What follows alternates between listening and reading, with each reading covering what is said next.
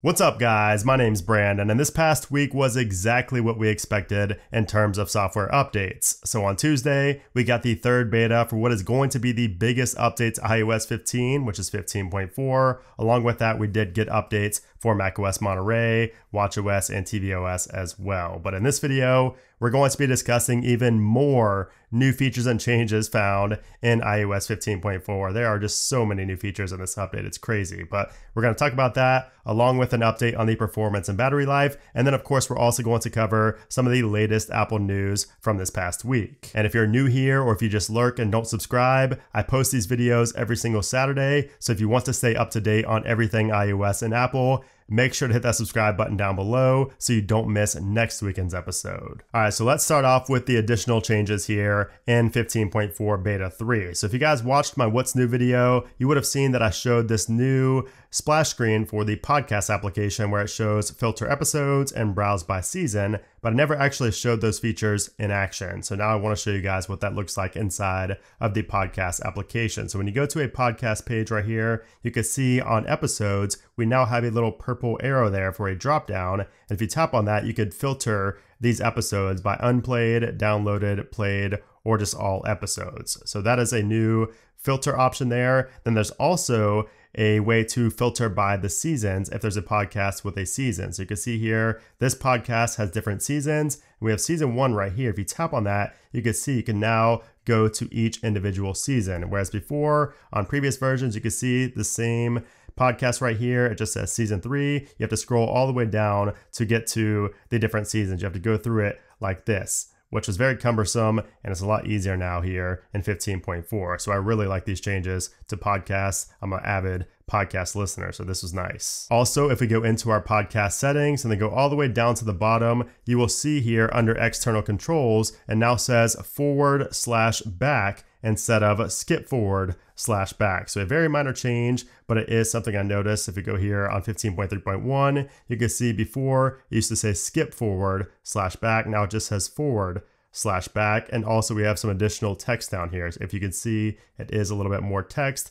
And the thing that's added down there, the sentence that's added, it says, if an episode contains chapters, next slash previous will navigate chapters, then episodes. So that's just some new verbiage, a new sentence added there under the external controls for our podcast settings. Also in the news application, if we go to the audio section right here and then go all the way down to the bottom, you can see we have a new more to explore section right there. So that is new inside of the audio tab. That just never existed before. It just said explore more and it took you to one page, but now it's organized down here with different glyph icons and different like categories as well. And if you go to all audio storage, you can see the layout is a little bit different here for these as well. So a lot of work done to the news application with this update. A lot of small things, but some really nice changes like the editor's picks right here as well. The Magnifier app continues to get updates here in 15.4, and we have even more changes here in beta 3. So if we go to the lens picker right here, if you have a phone with three lenses, you can see this is what will show up. You have the auto close up in front,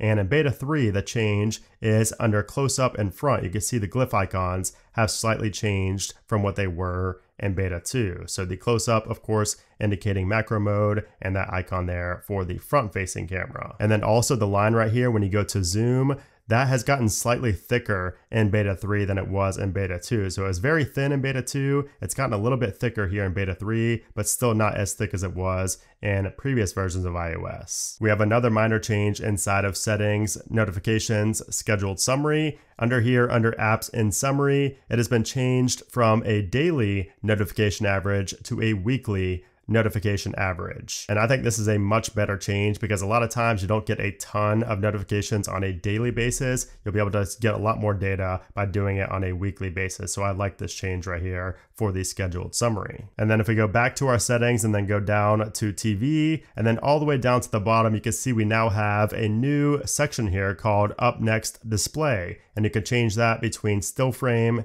and poster art. And to show you that feature in action, you can see here I was watching Breaking Bad and it shows a still from where I was in the episode. But if I change this to poster art and we go back, you can see it changes that image to just the promotional image for Breaking Bad. So just a minor change, but it is something you can now change for the TV app. Now, as far as bug fixes and any remaining bugs in 15.4 beta 3, The first thing we have to talk about when talking about bugs in general is the storage bug. And now, you know, in my What's New video, I said I'm not going to talk about it. I'm not going to say it's fixed because every time I say that, you know, it's not actually fixed. So the first time I didn't say anything about it in any of my videos, everybody's now saying that it's actually fixed. Go figure. So now it looks like the iPhone storage bug is finally fixed here with beta 3, at least for most people. My comments were bombarded with people saying that it has been resolved. So hopefully it doesn't revert back. Hopefully you guys don't have that issue again come the next beta or the RC or the final. But for right now, it looks like the storage bug is fixed for most people. And the same goes with the HomeKit bug. So some people had issues where the devices would just say no response, even though they were connected.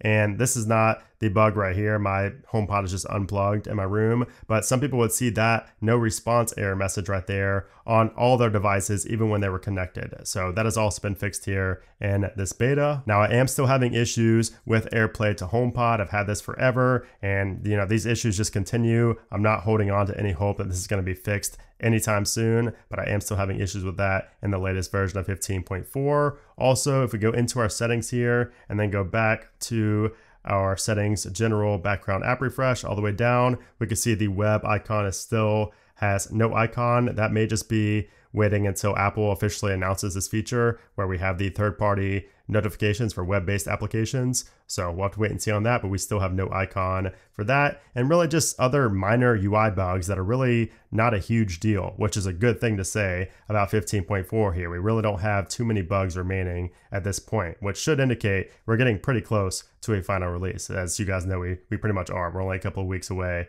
from that. And due to the lack of bugs in this update, the performance feels excellent. I mean, I think 15.4 is going to be even better in terms of performance than 15.3 and 15.3.1. So we will see, you know, I did run some Geekbench tests as well. Another one here tonight. You can see 1735 on the single core, 4914 on the multi-core. So a higher multi-core, slightly lower single core, if I'm remembering correctly. We go back right here, let's see yeah, slightly lower on the single core, but slightly higher on the multi-core. Again, these don't tell the full story. I do like showing updates on these scores though, because I do think 15.4 is gonna be a great performing update. And then as far as the battery life goes, finally in beta 3, I'm seeing an improvement with battery life. It's still not on par with the latest public release, 15.3 or 15.3.1, but it's getting there. It's noticeably better here in beta 3 than it was in the previous two betas. So that's good news, and hopefully that continues with the next beta and, of course, the RC. And speaking of the final release and the RC, let's talk about what is next for Apple. So, next up is going to be iOS 15.4 Beta 4, and that's going to be coming next week. So next week is the week of the 21st, but as you can see right here, the 21st is President's Day, so we can rule that out for any type of iOS release. So I would expect iOS 15.4 Beta 4 either on Tuesday or Wednesday. The 22nd or the 23rd is when I would expect that to get released. And then after that, we might see another beta right here, a beta 5, or that could be the RC. It depends on if Apple's going to release 15.4 during their event or right after the March event on March 8th, which again, that is just a rumor right now. We should see invites in the first week of March if that is going to be the case on March 1st, actually.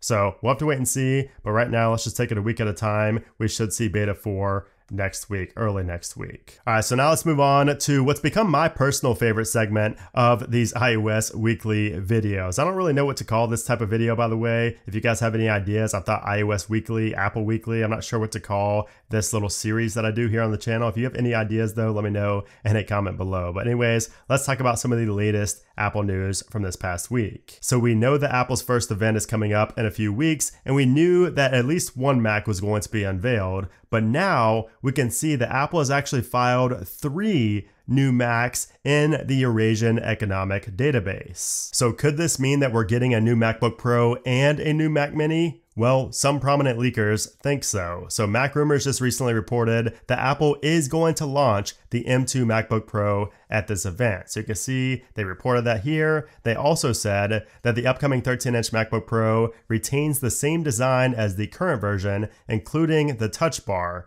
But unlike the 14 and 16-inch MacBook Pro models, it will not have a notch or a ProMotion display. And by the way, this new information comes from the same leaker who first predicted the notch coming to the MacBook, and he was right. So he does have a little bit of a track record. So it looks like the M2 is coming sooner than we thought, and now it's going to make buying a MacBook just that much more confusing. So we have M1, M1 Pro, M1 Max, and now M2. And of course, everybody's going to think M2 is going to be more powerful than M1, but it's not. It's not going to be more powerful than the M1 Pro or Max. So that's a whole other story, but it's just going to be pretty confusing, I think, for average consumers. Oh, and for those doubting that there's going to be a March event at all, Mark Gurman just recently reaffirmed his thoughts on Twitter, saying, quote, as I wrote, new Macs incoming at Apple's March 8th event. Also hearing there will be multiple new Mac minis this year, assuming regular and Pro, plus the new MacBook Pro between new Air and the 14 inch. Also in the works is an iMac Pro M2 24 inch iMac, and a new Mac Pro. So, yeah, if you still had any doubt about a March Apple event happening,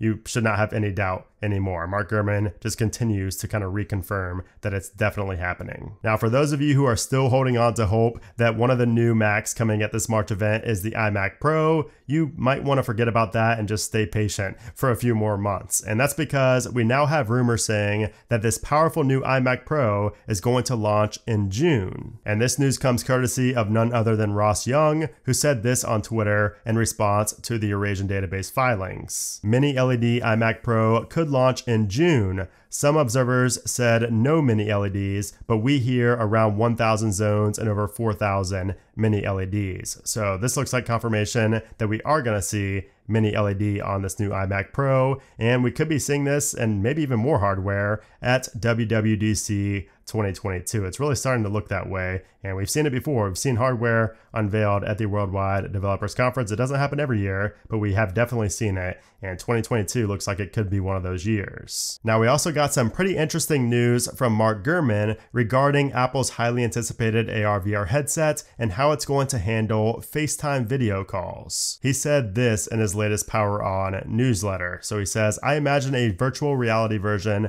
of FaceTime where you can be in a conference room with dozens of people. Instead of seeing their actual faces, you'll see 3D versions of them in Memoji form. I assume the headset will be able to determine a person's facial expressions in real time, making the experience fairly lifelike. I would also look for heavy use of SharePlay in the new Reality OS, which is the rumored software that's going to run on the AR VR headsets, allowing multiple headset wearers to experience music, movies, and games together. So this seems awesome to me, but I still struggle to see how a mixed reality headset is going to get mass appeal unless Apple can figure out a way to make the headset look stylish. I mean, if you want AR and VR, you know, if you just want VR, it doesn't matter what it looks like. You just put the thing on your head, you look like, you know, you look like a, a big geek, but it doesn't matter because you're inside, you're in VR. But if we're talking about AR now, where you could see your surroundings, you may want to wear it in public you're not going to want to go out you know, on the sidewalk wearing a VR headset.